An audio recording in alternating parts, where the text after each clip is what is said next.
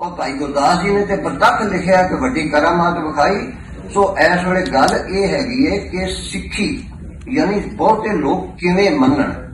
ਸੋ ਸੰਖੇਪ ਦੇ ਵਿੱਚ ਗੱਲ ਇਹ ਹੈ ਕਿ ਆਪਾਂ ਲੋਕਾਂ ਨੂੰ ਆਪਣੇ ਗੁਰੂ ਦੀਆਂ ਕਰਾਮਾਤਾਂ, ਗੁਰਬਾਣੀ 'ਚ ਲਿਖੀਆਂ ਇਤਿਹਾਸ ਵਿੱਚ, ਉਹ ਲੋਕਾਂ ਦੇ ਅੱਜ ਦੇ ਢੰਗ ਨਾਲ ਉਹਨਾਂ ਦੇ ਦਿਮਾਗ ਦੇ ਵਿੱਚ ਬਿਠਾਈਏ ਕਿ ਕਰਾਮਾਤ ਹੁੰਦੀ ਹੈ। ਕੋਈ ਵਿਦਿਆ ਕਿਸੇ ਸਮੇਂ ਸੀ, ਅੱਜ ਉਹ ਲੁਪਤ ਹੋ ਗਈ ਹੈ। ਇਹਦਾ ਇਹ ਨਹੀਂ ਮਤਲਬ ਕਿ ਉਹ ਵਿਦਿਆ ਉਦੋਂ ਹੀ ਨਹੀਂ ਸੀ ਹੈਗੀ। ਮੈਂ ਵਿਖਾ ਦੇਣਾ ਜਿਹਦਾ ਜੀ ਕਰਦਾ। ਅੱਜ ਉਹ ਲੋਕ ਬੈਠੇ ਨੇ ਜਿਹੜੇ ਨਗਦ ਬੰਦ ਕਰਕੇ ਬਹਿ ਜਾਂਦੇ ਨੇ, ਡਾਕਟਰ ਯੋਰ ਲਾਰਨ ਬਿਨਾਂ ਨਵੀਂ ਤੋਂ ਬੰਦਾ ਚੰਗਾ ਭਲਾ ਹੱਸਦਾ ਖੇਡਦਾ ਬੈਠਾ। ਸੋ, ਇਹ ਗੱਲਾਂ ਉਹਦੇ ਵਿੱਚ ਜਿਹੜੀ ਹੁਣ ਮੈਂ ਇੱਥੇ ਸੰਖੇਪ ਚ ਗੱਲ ਕਰ ਦੇਣਾ ਕਿ ਆਪਾਂ ਨੂੰ ਕਰਾਮਾਤਾਂ ਦੀਆਂ ਲੰਮੀਆਂ ਚੌੜੀਆਂ ਗੱਲਾਂ ਫੇਰ ਕਰਾਂਗੇ। ਆਪਣੀ ਸੋਚ ਵਿੱਚ ਵਿਸ਼ਾਲਤਾ ਲਿਆਉਣ ਦੀ ਲੋੜ ਹੈ। ਪਹਿਲੀ ਗੱਲ ਸਭ ਤੋਂ, ਨਿਸ਼ਾਨਾ ਕੀ ਹੈ? ਨਿਸ਼ਾਨਾ ਇਹ ਨਹੀਂ ਕਿ ਮੈਂ ਸਿੱਖੀ ਸਿਧਾਂਤ ਦੀ ਗੱਲ ਕਰਨੀ ਹੈ। ਨਿਸ਼ਾਨਾ ਇਹ ਹੈ ਕਿ ਸਿੱਖੀ ਵਧਾਉਣੀ ਹੈ। ਉਹਦੀ ਵਿਆਖਿਆ ਇਹ ਹੈ ਕਿ ਵੱਧ ਤੋਂ ਵੱਧ ਲੋਕ ਸਤਿਗੁਰੂ ਨਾਨਕ ਪਾਤਸ਼ਾਹ ਨੂੰ ਮੰਨਣ। ਉਦੋਂ ਅੱਗੇ ਕੋਈ ਜਿੰਨਿਆਂ ਨੂੰ ਮੰਨਦਾ, ਉਹ ਆਪੋ ਆਪਣਾ ਵਿਸ਼ਵਾਸ ਹੈ। ਜਿਹੜਾ ਸਤਿਗੁਰੂ ਨਾਨਕ ਪਾਤਸ਼ਾਹ ਨੂੰ ਮੰਨਦਾ, ਉਹ ਸਿੱਖ ਹੈ। ਜੇ ਸੱਪ ਨੇ ਛਾਂ ਕੀਤੀ ਸੀ, ਉਹ ਵੀ ਸਿੱਖ ਸੀ। ਬੇਬੇ ਨਾਨਕੀ ਵੀ ਸਿੱਖ ਸੀ। ਸੋ ਇਸ ਵੇਲੇ ਸੰਖੇਪ ਦੇ ਵਿੱਚ ਆਪਾਂ ਆਪਣੀ ਸੋਚ ਵਿੱਚ ਵਿਸ਼ਾਲਤਾ ਲਿਆਈਏ, ਮੋਨਿਆਂ ਨੂੰ ਸਿੱਖ ਪ੍ਰਵਾਨ ਕਰੀਏ। ਗੁਰਬਾਣੀ ਵਿੱਚ ਕਿਤੇ ਨਹੀਂ ਲਿਖਿਆ ਕਿ ਕੇਸਾਂ ਤੋਂ ਬਿਨਾਂ ਸਿੱਖ ਨਹੀਂ ਹੋ ਸਕਦਾ। ਠੀਕ ਹੈ, ਅਸੀਂ ਵੀ ਹੈਗੇ ਆ ਕਰਨਾ ਚਾਹੀਦਾ ਹੈ, ਅੰਮ੍ਰਿਤ ਛਕਣਾ ਕੇਸ ਤਾੜੀ ਠੀਕ ਹੈ, ਪਰ ਇਹ ਨਹੀਂ ਕਿ ਦੂਜੇ ਸਿੱਖ ਨਹੀਂ ਹੈਗੇ। ਇੱਕ ਗੱਲ, ਦੂਸਰੀ ਗੱਲ ਸਾਨੂੰ ਵੱਧ ਤੋਂ ਵੱਧ, ਜਿਵੇਂ ਬਾਲ ਸਾਹਿਬ ਨੇ ਵੀ ਕਹੀ ਹੈਗੀ ਹੈ, ਵਿਦਿਆ ਦਾ ਪ੍ਰਚਾਰ ਪ੍ਰਸਾਰ ਹੋਣਾ ਚਾਹੀਦਾ ਹੈ।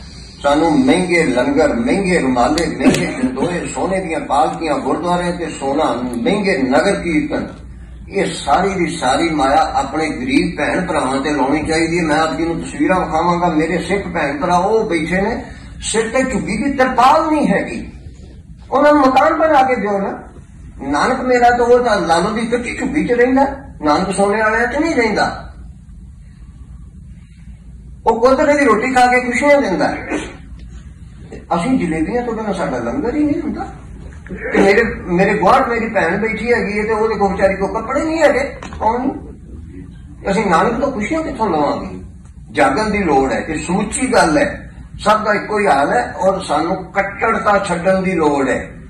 ਸੰਕੀਰਣ ਸੋਚ ਛੱਡ ਕੇ ਵਿਸ਼ਾਲਤਾ ਜਿਹੜਾ ਸਤਿਗੁਰੂ ਨਾਨਕ ਪਾਤਸ਼ਾਹ ਨੂੰ ਮੰਨਦਾ ਉਹ ਹੀ ਸਿੱਖ ਹੈ।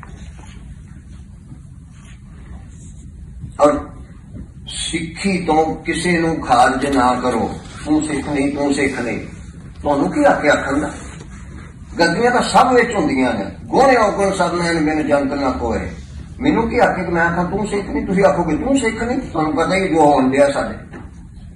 ਜੇ ਮਹਾਰਾਜਾ ਰਣਜੀਤ ਸਿੰਘ ਸਿੱਖ ਹੋ ਸਕਦਾ ਹੈ, ਤੇ ਤੁਸੀਂ ਕਿਉਂ ਨਹੀਂ ਹੋ ਸਕਦੇ? ਡਾਕਟਰ ਮਨਮੋਹਨ ਸਿੰਘ ਕਿਉਂ ਨਹੀਂ ਸੀ ਸਿੱਖ? ਸਾਡੇ ਕਾਲੀਆਂ ਨੇ ਕਿਉਂ ਨਹੀਂ ਵੋਟਾਂ ਪਾਈਆਂ? ਕੌਣ ਨਹੀਂ ਸਿੱਖ? ਜਰਾ ਸੋਚੀ, ਮੇਰੀ ਗੱਲ ਨੂੰ ਬਹੁਤ ਧਿਆਨ ਨਾਲ ਸੁਣਿਓ ਜੀ। ਸਿੱਖ ਕੌਣ ਨਹੀਂ ਤੇ ਕੌਣ ਹੈਗਾ? ਮਹਾਰਾਜਾ ਰਣਜੀਤ ਸਿੰਘ ਚਾਰ ਪੰਜ ਵਿਆਹ ਕਰਾ ਕੇ 10 ਪੰਜੀਆਂ ਰੱਖ ਕੇ ਰੋਜ਼ ਸ਼ਰਾਬ ਪੀ ਕੇ ਉਹ ਸਿੱਖਾਂ ਦਾ ਮਹਾਰਾਜਾ ਸੀ। ਮਨਮੋਹਨ ਸਿੰਘ ਤੇ ਕੋਈ ਉਂਗਲ ਨਹੀਂ ਚੁੱਕ ਸਕਦਾ। ਇਸ ਕਰਕੇ ਸਿੱਖੀ ਸਿਰਫ ਤੇ ਸਿਰਫ ਸ਼ਰਧਾ ਨਾਲ ਹੈ ਜਿਹੜਾ ਕਹਿੰਦਾ ਕਿ ਮੈਂ ਸੱਚੇ ਪਾਤਸ਼ਾਹ ਨੂੰ ਮੰਨਦਾ, ਉਹ ਸਿੱਖ ਹੈ ਜੇ ਮਹਾਰਾਜਾ ਰਣਜੀਤ ਸਿੰਘ ਸਿੱਖ ਹੋ ਸਕਦਾ, ਤੇ ਸਾਡੇ ਬੱਚੇ ਵੀ ਸਿੱਖ ਹੋ ਸਕਦੇ ਨੇ। ਇਸ ਕਰਕੇ ਬੱਚਿਆਂ ਨੂੰ ਪ੍ਰੇਮ ਕਰੀਏ, ਉਹਨਾਂ ਨੂੰ ਗੁਰੂ ਦੇ ਚਰਨੀ ਲਾਈਏ, ਸ਼ਰਧਾ ਬਣਾਈਏ ਮੇਰ ਸਾਹਿਬ ਦਾ ਬਹੁਤ ਬਹੁਤ ਧੰਨਵਾਦ ਹੈ ਕਿ ਉਹਨਾਂ ਨੇ ਸਾਨੂੰ ਸਮਾਂ ਥੋੜਾ ਜਿਹਾ ਹੋਰ ਦੇ ਦਿੱਤਾ ਹੈ। ਔਰ ਸਾਧ ਸੰਗਤ ਜੀ, ਗੁਰੂ ਨਾਨਕ ਪਾਤਸ਼ਾਹ ਦੇ ਸਿੱਖ, ਨਾਨਕ ਪੰਥੀ ਉੱਥੇ ਉੱਥੇ ਪਏ ਨੇ ਕਿ ਨਾ ਤੁਹਾਨੂੰ ਨਾ ਮੈਨੂੰ, ਅਸੀਂ ਤਾਂ ਕਦੀ ਸੋਚਿਆ ਹੀ ਨਹੀਂ। ਮੈਂ ਪਰਸੋਂ ਜੇ ਉੱਥੇ ਪੜਿਆ, ਕੁਦਰਤੀ ਮਹਾਨ ਕੋਸ਼ ਚ ਇੱਕ ਨਿਕਲ ਆਇਆ, ਇੱਕ ਭਗਤ ਪੰਥੀਆਂ ਦੀ ਸੰਪਰਦਾਇ ਹੈ। ਕਦੀ ਸੁਣਿਆ ਤੁਸੀਂ? ਭਗਤ ਪੰਥੀਆਂ ਦੀ ਇੱਕ ਸੰਪਰਦਾਇ ਹੈ, ਉਹ ਵੀ ਨਾਨਕ ਪੰਥੀ ਨੇ। ਅਸਲ ਚ ਅਸੀਂ ਸਾਰੇ ਨਾਨਕ ਪੰਥੀ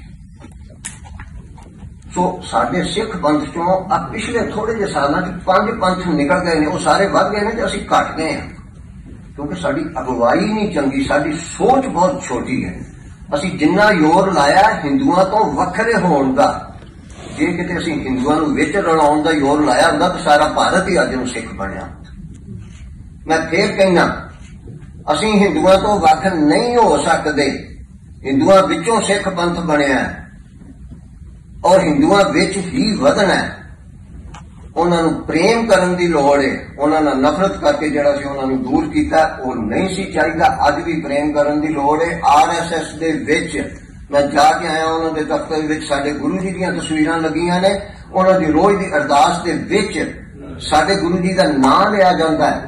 ਉਸ ਨਾਗਪੁਰ ਦੇ ਵਿੱਚ ਸੋਚਣ ਦੀ ਲੋੜ ਹੈ ਆਰਐਸਐਸ ਨੂੰ ਹਰ ਵੇਲੇ ਗਾਲਾਂ ਕੱਢੀ ਜਾਂਦੇ ਆ। ਉਹ ਤੇ ਸਾਡੇ ਗੁਰੂ ਜੀ ਨੂੰ ਮੰਨਦੇ ਨੇ ਨਾ। ਅਸੀਂ ਉਹਨਾਂ ਨੂੰ ਦੁਰੇ ਦੁਰੇ ਕਰਦੇ ਤੇ ਸਾਨੂੰ ਹਟ ਜਾਣਗੇ। ਦੂਸਰੇ ਪਾਸੇ। ਸੁਣੀ ਚੱਲਿਓ ਜੀ ਦੂਸਰੇ ਪਾਸੇ ਉੱਥੇ ਹੀ ਉਹ ਥਾਂ ਬਣਿਆ ਹੋਇਆ ਹੈ ਕਿ ਜਿੱਥੇ 6 ਲੱਖ ਸਾਡੇ ਮਜਬੀ ਵੀਰ ਜਾਂ ਜੋ ਵੀ ਉਹਨਾਂ ਨੂੰ ਮਰਜ਼ੀ ਕਹਿ ਲਓ, ਉਹਨਾਂ ਨੇ ਬੁੱਧ ਧਰਮ ਧਾਰਨ ਕੀਤਾ। ਜਦ ਕਿ ਡਾਕਟਰ ਅੰਬੇਦਕਰ ਉਹ ਸਿੱਖ ਬਣਨ ਵਾਸਤੇ ਆਇਆ ਸੀ ਕਿ ਮੇਰੇ ਵਰਗੇ ਆਗੂਆਂ ਨੇ ਆਖਤਾ ਜੇ ਤੁਸੀਂ ਸਿੱਖ ਬਣ ਗਏ ਤੇ ਗੁਰਦੁਆਰੇ ਦੀ ਗੋਲਕ ਤੇ ਤੁਸੀਂ ਲੈ ਲਓਗੇ, ਕਬਜ਼ਾ ਤੁਸੀਂ ਕਰ ਲਓਗੇ ਤੇ ਤੁਸੀਂ ਸਿੱਖ ਨਹੀਂ ਬਣ ਸਕਦੇ।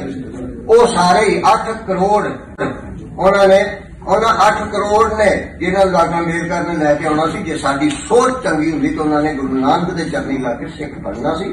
ਸਮਾਂ ਮੈਂ ਬਹੁਤਾ ਲੈ ਗਿਆ, ਮੈਂ ਖਿਮਾ ਮੰਗਦਾ ਔਰ ਆਪ ਜੀ ਨੂੰ ਇੱਕੋ ਹੀ ਬੇਨਤੀ ਹੈ, ਇਹ ਸੋਚ ਬਣਾ ਕੇ ਚੱਲੋ ਕਿ ਸਾਰੇ ਸੰਸਾਰ ਦੇ ਵਿੱਚ ਧੰਨ ਗੁਰੂ ਨਾਨਕ, ਧੰਨ ਗੁਰੂ ਨਾਨਕ ਕਰਵਾਉਣੀ ਹੈ, ਸਭ ਨੂੰ ਗੁਰੂ ਨਾਨਕ ਦੇ ਚਰਨੀ ਲਾਉਣਾ ਹੈ ਤੇ ਸਾਰੇ ਸੰਸਾਰ ਦੇ ਵਿੱਚ ਸਿੱਖ ਰਾਜ ਹੋਵੇ, ਮੇਰੇ ਵਿਚਾਰਾਂ ਨਾਲ ਕੋਈ ਸਹਿਮਤ ਹੈ ਜਾਂ ਨਹੀਂ, ਉਹਨਾਂ ਦੀ ਖੁਸ਼ੀ ਔਰ ਇੱਕ ਆਪ ਜੀ ਨੂੰ ਕੁਐਸਚਨ ਆਇਆ ਦਿੱਤੀ, ਉਹ ਕਿਰਪਾ ਕਰਕੇ ਭਰ ਕੇ ਦੇ ਕੇ ਜਾਇਓ ਜੇ। ਇਹਨਾਂ ਸ਼ਬਦਾਂ ਨਾਲ ਬਹੁਤ ਧੰਨਵਾਦ। ਸਾਰੇ ਆਪੋ ਧੰਨ ਸਤਿਗੁਰੂ ਨਾਨਕ